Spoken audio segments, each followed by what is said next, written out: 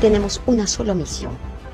¿Y sabes cuál es la misión, señores congresistas? Gracias, gracias, gracias. Señora Dina, señores ministros inectos, incapaces. La misión es sacarlos a patadas a ustedes. Darnos el gusto, el placer de votarlos a patadas. ¿Saben para qué? Para que el próximo gobernante o los próximos funcionarios o congresistas no se atrevan nunca más a meterse con el pueblo, no se atrevan nunca más a robarle, no se atrevan nunca más a menospreciarlos, a humillarlos y a hacer leyes a su medida. ¿Cuándo deberías defender? ¿Cuándo usted debería defender al pueblo, a nuestro país? Ese compromiso han hecho pues cuando han sido caramba como postulantes para los policías. No es solamente agarrar y decir, retrocede, retrocede, no puedes ingresar a la Plaza Vea. ¿A quién van a servir, carajo? Van a servir a los chilenos y a mí. Si carajo de mi bolsillo así bajando todavía, carajo, mi cierre, carajo, saco mi moneda en el, digo, acá está mi impuesto por haber comprado una cajita de fósforo. De ahí tienen que ganar mis hijos policías. De ahí tienen que ganar los catedráticos.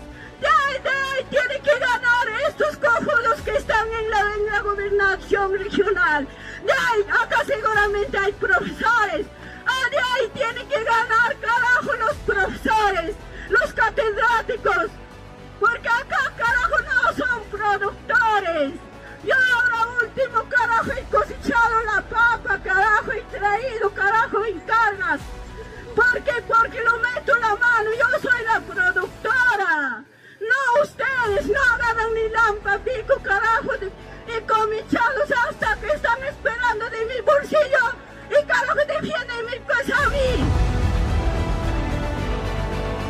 No hay forma de continuar en lo que estamos si sube cualquiera de estos infelices que dice que son la solución. Señor Carlos Álvarez, por favor. ¿Sale usted gritando así a lo Alan? ¿No? El que dice que está muerto, pero capaz que está de parranda. ¿Qué sabe usted de seguridad, de mineros, de economía? Hoy sábado 6 de mayo del 2023, hermanos, están votando Carlos Álvarez, lo está votando el pueblo.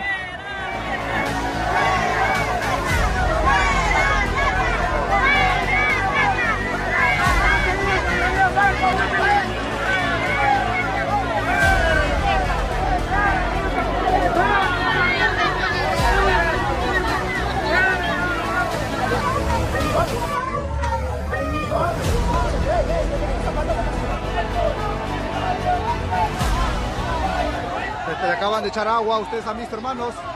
El pueblo está rechazando a Carlos Álvarez.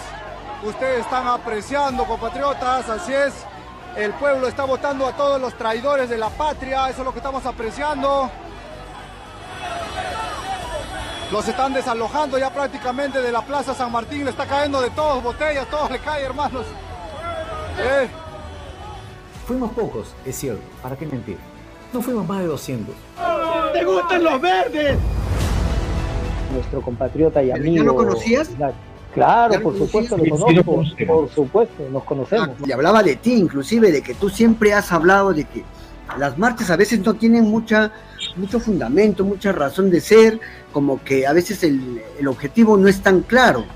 Sin embargo, tú siempre hablabas del paro nacional, tú siempre hablabas del boicot, de la Asamblea Nacional, que son unas técnicas distintas a conseguir objetivos sí claramente definidos y pareciera en este momento que el pueblo así como que en todas sus tentativas y marchas y contramarchas está llegando al camino correcto o al camino más o menos que da resultados.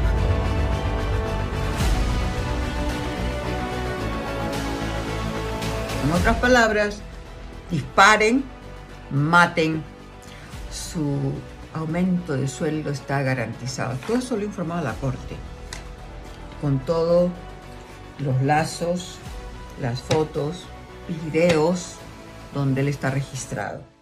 Perú es una pesadilla política. Y se lo he hecho bien claro a la Corte.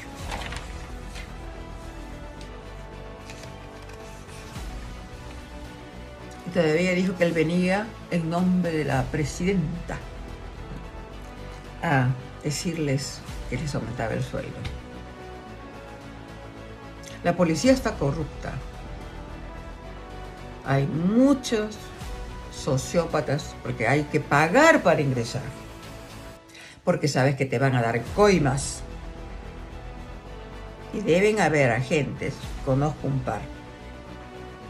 El mayor Hilario un hermano de Cusco, que tuvo que enfrentarse porque lo empapelaron, por supuesto, y yo mandé su caso a la corte. Yo cuando vi a Chibolín, que vino a buscarme, vi a otro Chibolín de esto hace cuatro o cinco años, o seis.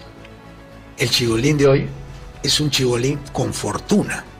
Entonces, estamos mostrando a dos personajes que ya no tienen nada que ver con el mundo del espectáculo para mí. Son operadores políticos. Y como operadores políticos que son, ofenden al pueblo todas las noches mostrando su riqueza y su dinero porque lo que ellos añoraban en su vida era tener dinero para escalar en esa horrorosa pretensión de querer ser aceptados por las, vamos a llamarle, por la élite limeña, la élite guachafa, que va incorporando a estos personajes menores para hacerlos suyos a cambio de tenerlos como piezas fundamentales en sus pretensiones políticas. Esto para mí es la señora Magali y esto es para mí Chibolín.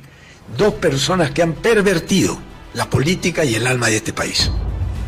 Porque la señora Magali, que hace expresa demostración de su riqueza, de su belleza, no importa, de su belleza está bien, bella, puede sentirse bella, pero de su riqueza, mostrando carteras que valen 20 mil dólares según ella, relojes que valen no sé cuántos, y Chibolín hace lo propio. Todos esos mermeleros, medios de comunicación que ya han perdido credibilidad, ¿ya? Y que le dicen, señora presidenta, ¿ya? Señora, ¿por qué no eres más acucioso? Señor César Hildebrand, ¿no? Que le dices, señora presidenta, ¿no? Dejemos nomás que sigan gobernando entre prostitutas y criminales, entre ladrones, ¿no? No importa, no importa. Hay que continuar nomás. ¿Ah? Pero han matado a 80 peruanos. No importa, no importa. Hay que seguir nomás por el bien de los demás. Eso han logrado. Han logrado que el Perú despierte de este largo sueño, de este largo letargo. ¿Ah? Así que así sigan metiéndonos, tratándonos de meter una psicosocial en los medios de comunicación. ¿Ah? Haciéndonos dudar. No, ya no hay dudas. Nosotros estamos del lado correcto. Y el lado correcto es que estamos unidos. Tú que eres comerciante, tú que eres bodeguero, tú que eres ama de casa, tú que eres niño, tú que eres joven, tú que eres universitario, tú que eres vendedor de caramelos, vendedor ambulante, tú que eres transportista, tú que eres profesor. Porque nadie está salvo ahora. Acá sabes por qué lo ponen? Porque su gente ha pagado dinero a Ipsos. Ipsos nunca te saca en primera plana si no pagas dinero. Eso es la verdad. Y el Fujimorismo compra las encuestadoras. Por eso se pone adelante. Ese 12% supongamos que lo quiere en Lima. Pero en provincia nadie te quiere. ¿Por qué no vas a Puno? ¿Por qué no vas a Ayacucho? ¿Por qué no vas a Huancavelica? ¿Por qué no vas a Yunguyo? ¿Por qué no vas a Zángaro? ¿Por qué no vas a Juli? ¿Por qué no vas a Juliaca? Y ahí es un meeting. ¿Por qué no vas a Arequipa? Huancavelica, ¿por qué no vas? Cusco, ¿por qué no vas? ¿Sabe por qué no vas, señor, acá? Porque te botan la patada de allá. Te botan de allá. Tu bastión está acá, pero en San Isidro, en San Borja y algunos de la periferia de Lima. Por eso Ipsos te pone entonces, ¿por qué es esto? Esto puede antes, pu- pudiese haber causado un impacto psicológico, entonces la gente diría, mira, Keiko está en- hay que apoyar a Keiko. Esa es la misión, pero no. Esto es engañoso, esto es vano, esto es fútil, esto es fatuo, esto es apócrifo, esto es falaz, esto es mentiroso. Eh, hiciste todo mal, ¿ya? Este plan que tenías tú este, listo para ejecutarlo, cometiste errores porque eres idiota, ¿ves? El idiota comete un montón, eh, choromonce, ¿no? El choromonce que roba aquí y vende al frente. Ipsos no funciona, funciona cuando le pagan. Esa es la verdad. Acá está. Ipsos, mentiroso. ¿Cuánto dinero recibes, carajo, para ponerlo en la cabeza? ¿Cuánto? Esta es manipulación. Pero una mani- manipulación absurda, tonta, estúpida, porque la gente sabe perfectamente que las encuestadoras nunca dicen la verdad, sino que favorecen a las organizaciones criminales los que están con ellos. Entonces, de los siete, estaban los siete ahí sentaditos y ellos al ver que se manifestaban todos y dijeron, ah, vamos a perder, a la hora que dijeron, bueno, vamos a votar, lo que hicieron fue pararse y largarse. La misma Luz Pacheco, que hoy funge de presidente del Tribunal Constitucional, lo ha salido a decir. ¿Por qué? Porque a la hora que ellos han votado, con cuatro ya ganaron. ¿Y qué era lo que ganaron? Los cuatro que votaron votaron a favor del Poder Judicial. Los cuatro le dijeron al Congreso, no tienes la razón, declaramos infundado tu pedido. las coincidencias que tenemos con el mayor Rosales en algunos aspectos, tienes toda la razón. El pueblo ha entendido que si bien es cierta su buena voluntad de hacer marchas, pancartas y arengas, al no afectar económicamente al codicioso tirano, cuando el pueblo ha hecho un paro, como salió Adrián Sen en la televisión de señal abierta a decir qué terrible, el paro ha hecho perder miles, pero miles a quién? Al pueblo no, a los ricos, a los explotadores, claro, ¿no? Y la, incluso Mónica Delta de la televisión mermelera salió a decir claramente que cómo pues pueden parar, o sea, defendiendo que no haya paro, ¿no? Pero ¿por qué no marchan? ¿Por qué hagan marcha, hagan cantos, arengas, pero paro no? No, señor, el pueblo tiene que hacer lo que les haga sentir a ellos, en otras palabras, el pueblo tiene que hablarles a los codiciosos en el idioma que ellos entienden, el idioma de la pérdida de la plata. Entonces esta guachafería en un país pobre crea una división enorme entre los guachafos, que son estos, y los que aspiran a ser como ellos, guachafos como ellos. Porque lo que ellos venden es la guachafería, es decir, yo ya con plata, mostrando mi piscina, mi casa, mi joya, mi cartera que me regaló Chibolín, los viajes que hago a Miami, porque para ellos ir a Miami era como conocer el mundo, porque el guachafo lo primero que quiere conocer es Miami, pues, porque cuando conoce Miami ya eres distinto. Y si te compras un departamento en Miami y lo muestras, ya olvídate, pues. Entonces son imitadores de alguna manera de Jaime Bailey, en ese, en ese estado. Y Jaime Bailey es de otro estado so- social, económico, intelectual, obviamente. Pero estos dos personajes que estoy mostrando en pantalla han destruido en parte ¿no? la democracia en el país. A eso llego yo finalmente. Y ustedes dirán, ¿por qué Ricardo si Magali? Porque Magali fue la primera mujer que se atrevió a meterse a la cama de una pareja y destruir un hogar. Según ella, para defender a la pobre mujer que el marido la estaba engañando. Todo eso ha hecho Magali en la televisión. Licencia para matar. Bruce Willis en mujer. Licencia para matar. Ella tuvo licencia para matar honras. No conforme con matar honras, decidió mostrar su riqueza. No conforme con mostrar su riqueza, mostrar su belleza. Pero no pueden hacer nada con su alma, porque el alma de estas dos personas, en sí misma, creo que sufren una enfermedad que no tiene cura. Esa es la realidad del Perú, hermanos. un video de un minuto y en una imagen de lo que es el Perú para, para los peruanos, ¿no? En eso se ha convertido.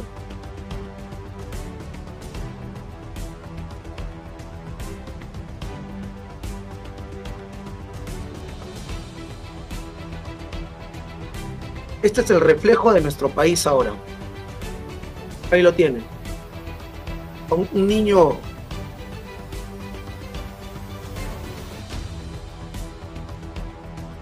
viendo cómo su mamá es arrastrada por los suelos por trabajar. Y el pueblo tiene todo el derecho de que si están perdiendo la vida y el Estado no cumple sus funciones y no actúa de una manera eficiente, pues al paro, señor, al paro. Y entonces cuando las manos de los peruanos, la fuerza de la, laboral, deje de servirles a ellos para sacar el oro que al fin y al cabo se lo llevan al extranjero, entonces ellos comprenderán que si no hacen un trato con el pueblo, no van a poder sacar lo que pretenden. Porque se orinan y los venecos. ¡Ya caramba, alto por esa extorsión! ¡Alto carajo el sicariato, los señores policías!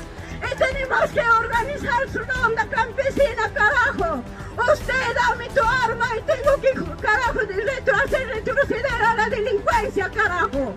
No, te, no me voy a orinar, carajo.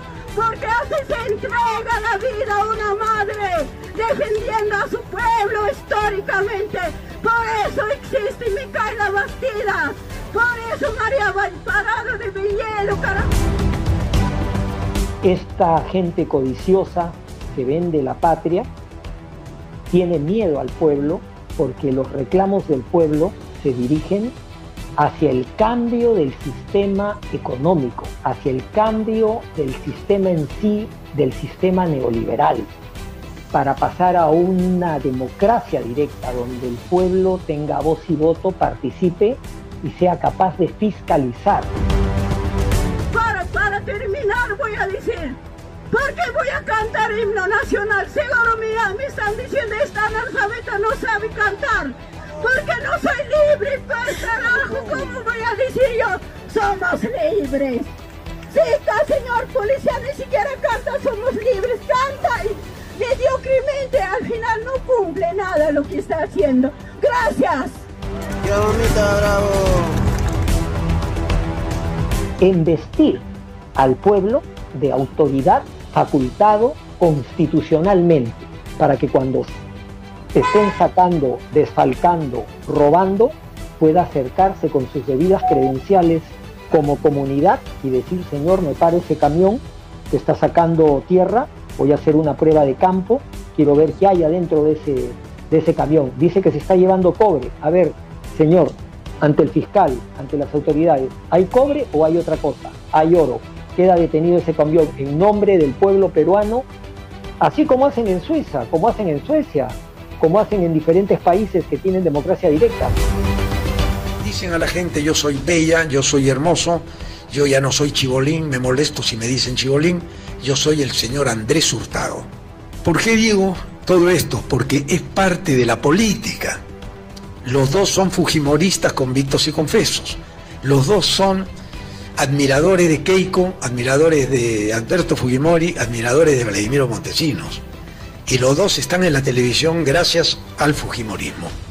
Tuvo que ser el gobierno el que dio órdenes a los dueños de los canales que este tipo de personajes tienen que estar en la televisión porque es parte de la estrategia de demolición de la nación como nación, sin valores, sin principios, sin nada que podamos dejar a nuestros hijos si es que no tiene dinero. O sea, si tienes dinero, te puedes permitir todas estas guachaferías. Y ahí viene el tema político, la derecha y la izquierda. Si tú le preguntas a Chibolín si es de izquierda, te va a decir que de ninguna manera. De izquierda era cuando era bailarín, ahora ya es de derecha.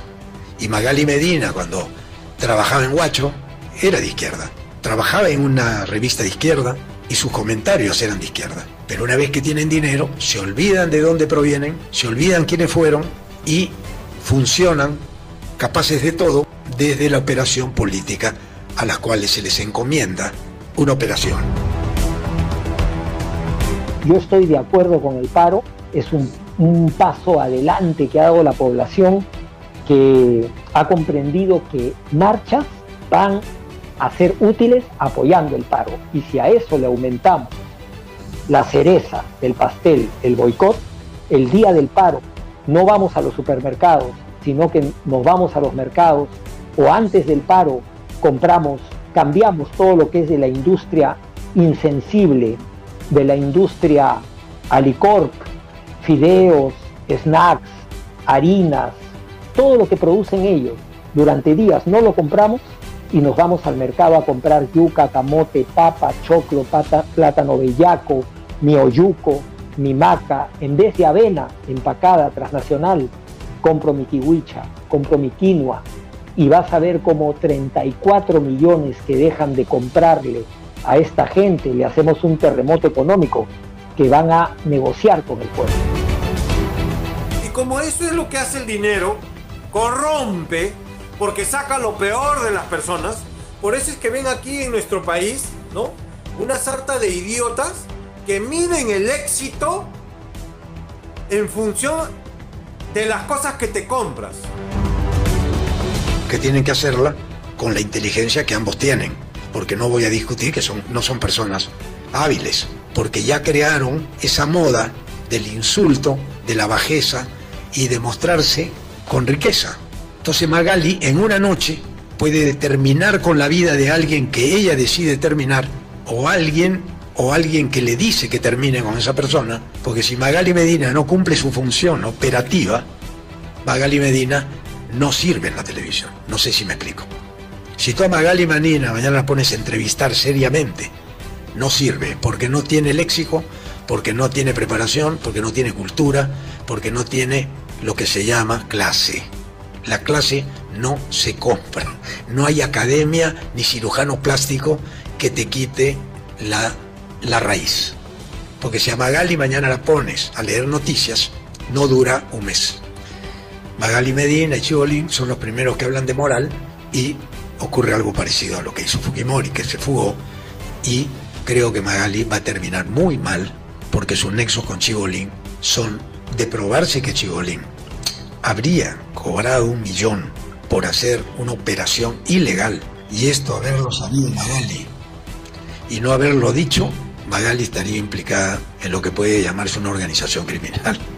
Porque si Magali viajó con las hijas de Chibolín, compró todas estas carteras, tiene departamento en Estados Unidos, tiene esto, el canal de televisión del fantasma Ángel González tendría que justificar y decir cuál es el sueldo de Magali Medina para que esta señora en 20 años de televisión haga una fortuna inconmensurable, según ella, lo muestra todos los días, en la televisión peruana. Magali Medina estaría comprometida con una presunta organización criminal que manejaba el oro que han estado actuando a sabiendas de lo ilegal de esta profesión que da millones, que es el blanqueamiento de dinero.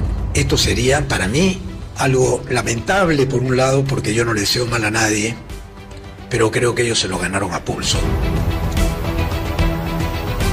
Y como te compraste tu departamento, eres un hombre exitoso, ¿no? Por eso es que cuando ustedes cruzan la calle, no van a cruzar la pista y el idiota que viene con su carro acelera para que no pases, ¿no?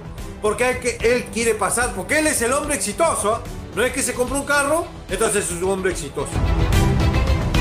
Acá de verdad tenemos que levantarnos con fuerza con todo lo que tengamos, porque esto se trata ya de una guerra declarada por parte, por parte de esta organización criminal. Keiko Fujimori es la que está administrando todos estos desechos. Me atrevo a preguntarte algo sobre ese tema, nomás antes de pasar con el mayor Hilario. Claro. Eh, yo me pregunto, ¿no? El BCP, que siempre está aliado, ¿no? A Fujimorismo, apoyado, hay pruebas de eso, ¿sí o no? Financiación. Entonces, ¿qué te parece esto de informar que, o orientar a la población para que saquen sus- de sus cuentas del BCP y lo coloquen en el Banco de la Nación? Perderían dinero si es que van al Banco de la Nación? Porque hasta antes de, del año 2000, vos tenías una excusa para, para, estar, para quedarte bruto, tenías una excusa. Ya. Pero desde que salió el internet, ¿cuál es la razón para que seas tan idiota? ¿Cuál? Para empezar, sería un acto patriótico y muy inteligente porque tú estarías desfinanciando, le quitarías movilidad a estas personas que han demostrado en la praxis ser insensibles, eh, ser indolentes al sufrimiento y a los muertos que ha tenido el pueblo. Y ellos, al pasar su dinero de estos bancos grandes hacia el Banco de la Nación, le darían un mensaje muy poderoso a esta gente que empiece a actuar con ética. Y no se olviden que ahora va a salirte más barato el pueblo en Gamarra porque Gamarra está haciendo paro tributario. No se olviden del paro tributario que está promoviendo Gamarra. Eso es mucho más inteligente, ¿ya? Porque estos miserables del- de, los policías y todos estos burócratas, cuando llegue fin de mes y no tengan para cobrar, ahí los vamos a ver protestando, carajo, porque salen a protestar porque quieren aumento, ¿no? Y nosotros los que no estamos en la planilla del Estado, ¿cómo pedimos un aumento? Así que hermano, lo único que nos queda es ya organizarnos todos unidos y levantarnos con, con todo, con lo que tengamos. Acá ninguna elecciones va a solucionar los problemas, de derechos humanos, defensoría del pueblo, nadie, porque todo está corrupto, es una organización criminal, entiendan.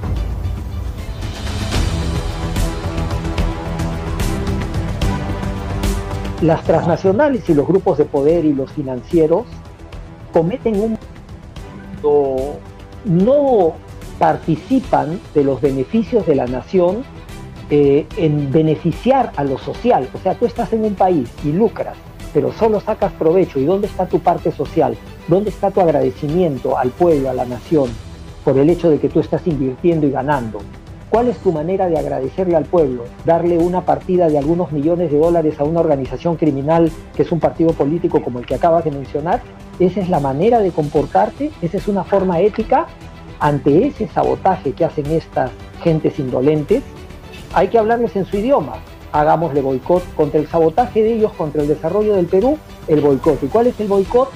Como es el boicot es un acto ético que identifica conductas malvadas de las empresas y de los grupos de poder, dices, bueno, todos juntos como población les vamos a hacer sentir. A ver, que 10 millones de peruanos saquen su dinero del banco BCP.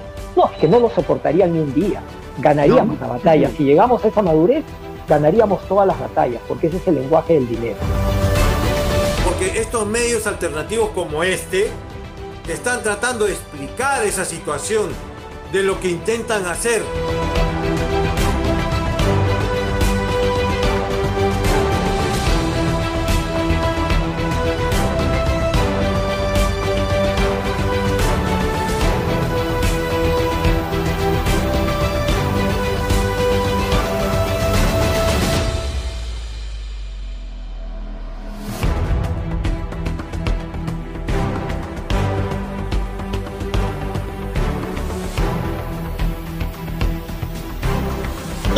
Y nunca hemos lanzado una lata de gas lacrimógeno. Y en otros países donde asesinan a mansalva a los, a, a los manifestantes, callan. Entonces uno se da cuenta que todo esto de la comunidad internacional y todo esto de las organizaciones internacionales no son los que lo pintan. ¿Lo sabía yo hace dos años? No, no lo sabía, pero lo sé ahora sí lo sé. Y ahora con esto que pasa ustedes ya lo saben también.